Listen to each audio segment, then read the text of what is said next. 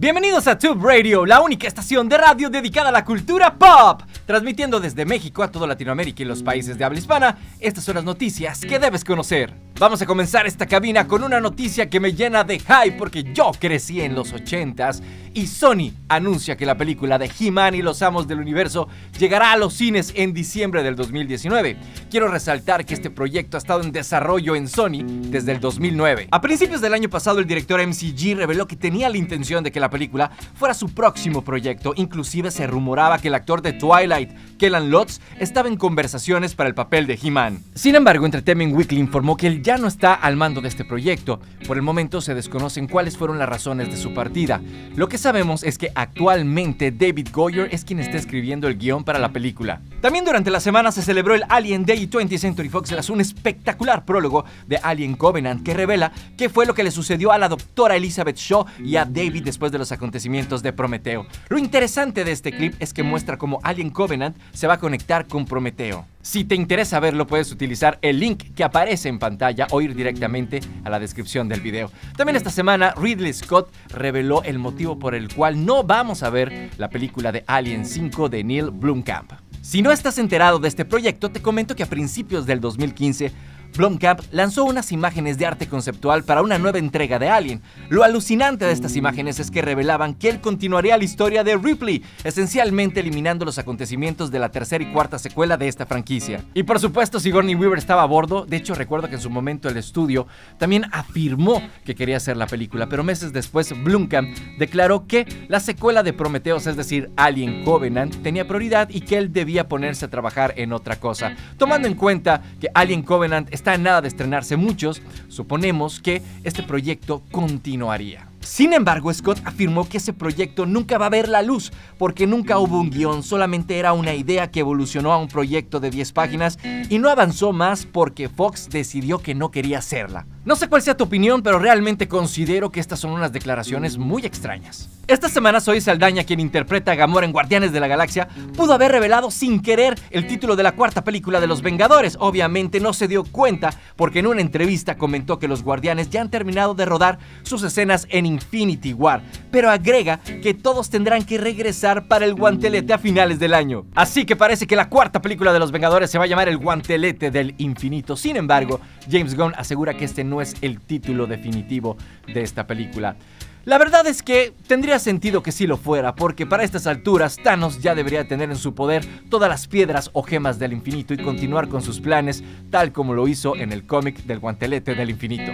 Por otra parte, el presidente de Marvel confirmó que no han dado a conocer el título oficial de la cuarta película de Los Vengadores porque puede ser un tremendo spoiler para la película de Infinity War. También en otra entrevista le preguntaron si vamos a tener la oportunidad de ver al personaje de la muerte, tanto en Infinity War como en la próxima película de Los Vengadores. Él se mantuvo renuente a contestar, pero confirmó que vamos a reconocer algunos aspectos de la historia del guantelete infinito en estas adaptaciones ya que los motivos de Thanos van a ser muy similares a los de esta historia. También confirmó que la película de Guardianes de la Galaxia Volumen 2 se lleva a cabo cuatro años antes de los eventos de Infinity War. También dijo que el universo cinematográfico de Marvel será bastante distinto después de la última película de Los Vengadores, ya que será el inicio de una nueva era y hace referencia a algunos de los personajes que se insinúan en las escenas finales de Guardianes de la Galaxia Volumen 2.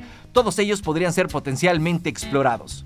Si te interesa conocer cuáles son estos personajes, te invito a que veas este video donde te ofrezco un resumen completo de las 5 escenas postcréditos de Guardianes de la Galaxia Volumen 2, que incluye algunos cameos interesantes. Y hablando de esto, recientemente Brian Singer compartió esta imagen en Instagram que revela un nuevo cameo de Stan Lee. La escena fue grabada por el mismo Singer para el piloto de una nueva serie de televisión sobre los X-Men. Por el momento se cree que el título de la serie será Gifted, pero no hay confirmación oficial y realmente se sabe muy poco sobre su trama. También esta semana el sitio de Screen Junkies compartió un rumor que aseguraba que el director de Volver al Futuro, Robert Zemeckis, estaba en conversaciones con Warner para dirigir la película en solitario de Flash. Sin embargo, esto es un rumor es infundamentado. Zemeckis solamente tuvo una reunión, una simple plática con ellos y Warner sigue buscando quién será el director de la película en solitario de Flash. De hecho, ya se anunció cuál va a ser el próximo proyecto de Zemeckis y va a ser una película basada en un documental del 2010 que se llama Mark Welcome, que fue aclamado por toda la crítica. El director M. Night Shyamalan anunció a través de sus redes sociales que su próxima película se llamará Glass y que es una secuela de sus películas del Protegido y Fragmentado.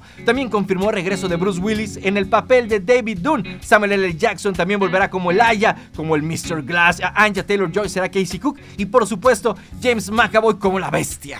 Por otra parte, el director George Miller volvió a hablar sobre las posibles secuelas de Mad Max Fury en la carretera y reveló que tiene dos guiones escritos para extender el universo de Mad Max. Lamentablemente dijo que si los planetas se alinean, entonces habrá dos películas más. También esta semana se confirmó que David Fincher es el director de la secuela de Guerra Mundial Z. Ya que estamos en esto, el director Joe Johnson, director de las películas de Rocketry, Jumanji y Capitán América El Primer Vengador, será el encargado de dirigir la próxima adaptación de las Crónicas de Narnia, para ser más específico, la novela de la Silla de Plata. Y por último, te comparto que Will Smith podría protagonizar la película de Jimmy Man que cuenta la historia de un asesino que tendría que enfrentarse a un clon de sí mismo, pero 25 años más joven. Cabe mencionar que este proyecto está en desarrollo desde 1997, pero por obvias razones no se había logrado. Sin embargo, con la tecnología de hoy en día, la idea principal de esta película puede lograrse fácilmente. Y ahora vamos con unas breves del cineverso. Jeff Goldblum aparecerá en la secuela de Jurassic World. George R.R. R. Martin, el creador de Game of Thrones, se declara fan de Marvel, particularmente de los cuatro fantásticos.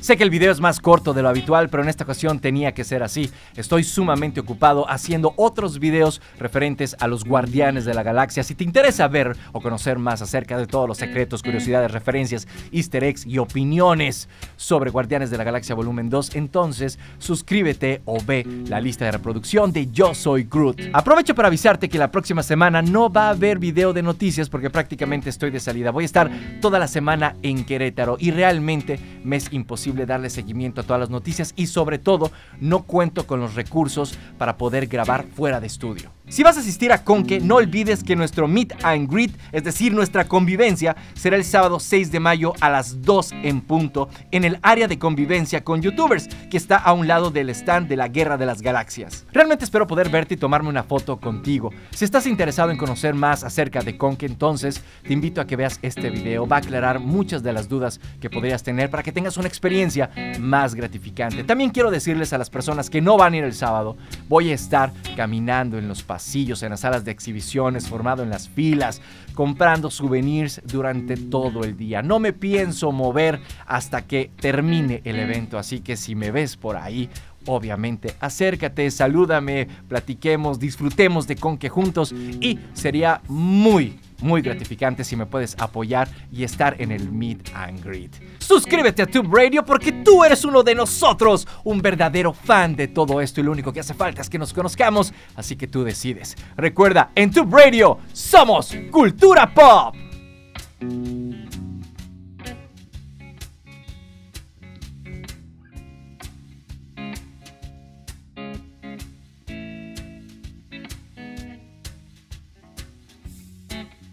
Muchas gracias por quedarte a nuestra escena después de créditos. Ya ha llegado el momento de invocar a nuestro gran oráculo, la gran bola 8, que ve más allá de lo evidente y que nunca se equivoca.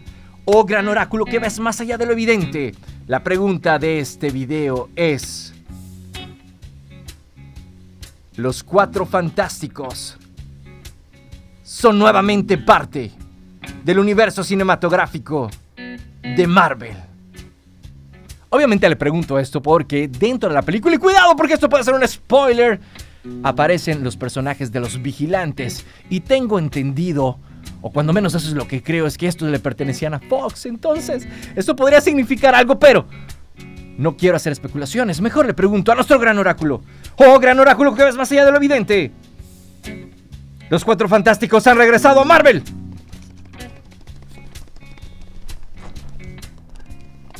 Y la respuesta de nuestro gran oráculo es... Como yo lo veo, ¡sí! ¡Sí! Y nuestro gran oráculo nunca se equivoca, nunca se equivoca. Es la primera vez que hacemos esta pregunta. Y es la primera vez que responde desde hace mucho tiempo. Muy bien, muy bien, ok. Disculpen el hype, pero para mí sería muy importante que los Cuatro Fantásticos son uno, la primera familia de Marvel, regresara a casa. Entonces, pues no sé, dime qué opinas acerca de esto. Nos vemos en Conque, nos vemos en la próxima semana. No olvides ver los videos, estoy subiendo más videos, más días. Hay más cosas en Tube Radio.